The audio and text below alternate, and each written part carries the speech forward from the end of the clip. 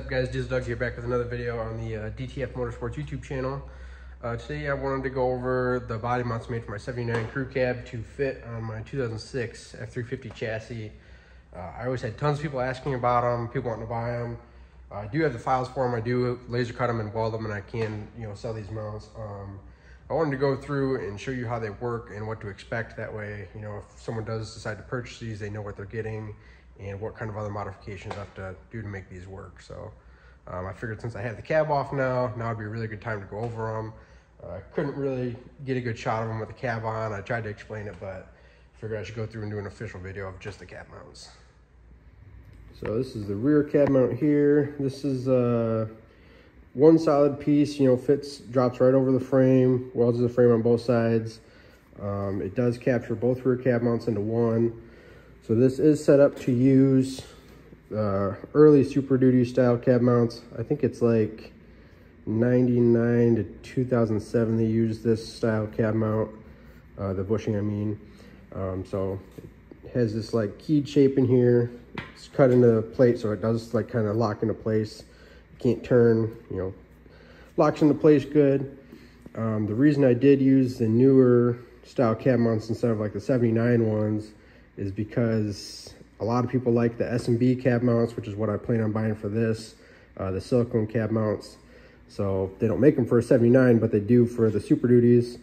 So I went with the newer style Super Duty cab mounts, the bushings. That way uh, you have the option to upgrade to the silicone ones from S&B if you want to. Um, in the way this one sits, it does sit on the angled part of the frame. So I do have that angle, you know, accounted for in the, the mount. So it does sit straight up and down. Um, so that's one thing to keep in mind when you're looking, if you're looking to purchase a set of these, um, you'll have to see where your cab is gonna sit. Um, because this is pretty sp specific crew cab. It's set up for a crew cab long bed chassis. So, I mean, it may work for other builds. You know, if you have a single cab, you're trying to put on a single cab frame, it might work, but I just haven't done it for myself, so I don't know for sure. But I know for sure that these mounts will fit a crew cab onto a crew cab frame.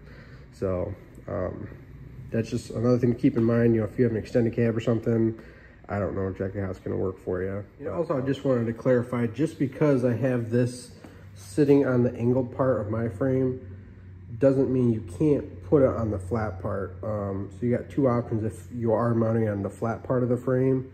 Um, there's extra meat here. So like these windows are the same size on each side. I just added uh, meat down here. So if you did want it on the flat side, you could just notch this to match the back side and then it would sit flat or you would just have a gap on the back side. Um, so yeah.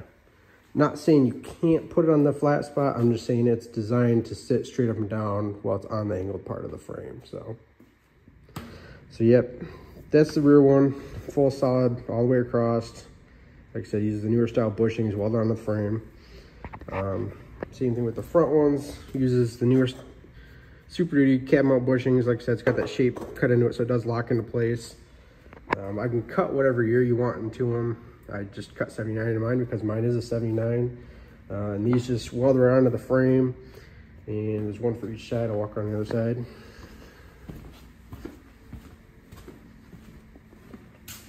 So here's the one on this side.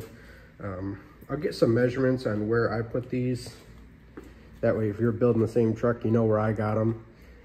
And um, this does lift the cab up.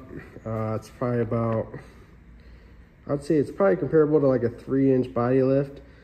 Um, it's just what I had to do to get my cab far enough forward and high enough for the cowl to clear the turbo.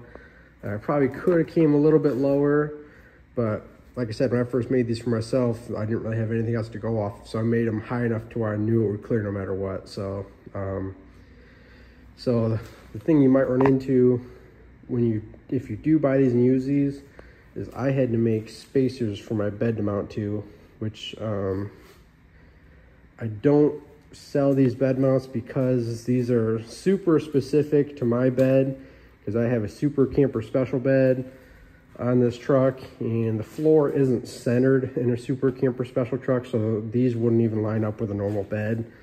So that's just something that you'll have to come up with on your own, um, some sort of spacer, um, which, I mean, you have to make a bracket anyway to mount the bed because the bed holes are narrower on those trucks than the Super Duty. So um, I could sell these, but kind of the same situation. You might have to modify them. Um, I don't really have any way to guarantee that these will work for your build. So yeah, I just want to do a quick video while I had the cab off. You know, I had a lot of people asking about the cab mounts. So, oh, kicking stuff over. Yeah, there's another shot of the rear mounts. I'll do one from the back here.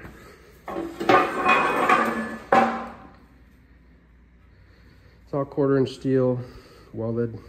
Um, got the brace on the top and the bottom, so it's fully boxed. another shot of the fronts. 79, all quarter inch steel, welded all the way across. And for measurement references from the coil bucket on the 2006 chassis, it is about seven and five eighths from the coil bucket to the front edge of that mount. And from the old body mount, it's forward about two and a quarter inches. And then for the rear one, there's usually a mount right here. I was gonna measure off that, but I already ground that off. So I'm gonna hook this onto the cab mount like that, run it back. It's 73 and a quarter to the front edge and 76 and 9 sixteenths to the back edge. So, and then what I did to get my height there, I set the cab on, had it on the rear mount. I made sure to torque my uh, body mount bolts down so I knew that it was in its final uh, resting height. And I took a laser level, I matched it to the bottom of the frame, and I brought it up till I met one of the body lines on the cab. And I had those bolted down and torqued onto the cab, these front ones. And I jacked up the front of the cab until the body line was level with the frame. And that's how I welded those in place. Uh, let me see if I can get a quick measurement from the bottom of the frame to those. Yeah, get a close up of basically where that bevel is, is at the top of the frame.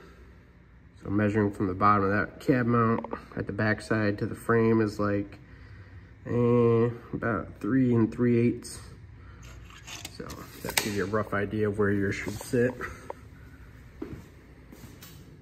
So yeah, I just want to do a video for everyone that was asking you know, now is a good time to take a video of these body mounts with the cabs off. So I just wanted to let you know, like I said, the only thing you have to figure out how to uh, position your bed. Um, I can sell those mounts, but there's a really good chance you're gonna have to modify them to fit your truck. So what I could do, let me turn this camera around again. So what I could do is I could sell these mounts. I would leave these windows out of them, or at least make them a lot smaller. That way you have a lot of room to cut material off and I wouldn't put a hole in them. You can see this one I actually didn't even nail on mine. I had to uh, re-drill that hole, so I gotta weld this shut. But uh, yeah, so I could sell the, you know, sell these with no holes in them. I could uh, get rid of these windows here so you could modify them however high you need them to be. Just sell you a set of eight of them for the same, have them all be the same, and then you can modify them as you please. And then set your bed down on them and just drill your holes straight through this plate. Um, so that's an option. If someone was interested in buying a set, I, I would be willing to make a set like that. But um, like I said, those are gonna have to be custom fit to your own truck. And uh, so I got six of them are shaped like this where they weld to the outside of the frame. This rear one, I had to do a little different because of the, the leaf spring hanger here. So, you know, if you needed a set of eight, there would be six shaped like that and two of them shaped like this. So yeah, I just wanted to do a video to try to explain how these body mounts work a little better for people that are wanting to buy a set. Um, if you guys have any more questions, just comment down below. I think my email is attached to YouTube. If not, go to dtfmotorsports.com. Shoot me an email from there. I don't have these listed on the website yet, just because, like I said, of all the different variations that people do with these trucks, I can't guarantee that this will work for sure for your build but this is just the way I did it. So um, I will sell them if people are interested in them, but like I said, there's a chance that you might have to slightly modify them for your truck. Um, I know a lot of people ask me about the core support mounts too. Um, I'll do a separate video on that because I didn't use the 79 core support. I used the Super Duty core support, cut up a 79 core support to mount around it, and then made brackets to attach the two. So I could sell those brackets, but like I said, it depends on the route you're going. I kept the Super Duty stuff so I could keep all the stock piping and intercooler and uh, radiator and all that stuff from the 6.0. Um, but some people want to use the 79 core support. So like I said, I don't make brackets to mount a 79 core port on a Super Duty frame, but I do make brackets to adapt the 79 core port to a Super Duty core port. So um, I'll do a separate video on that to try to explain that a little better. But uh, like I said, thanks again for watching. If you have any questions, comment below, shoot me an email. I'll try to help you out the best I can. Thanks again.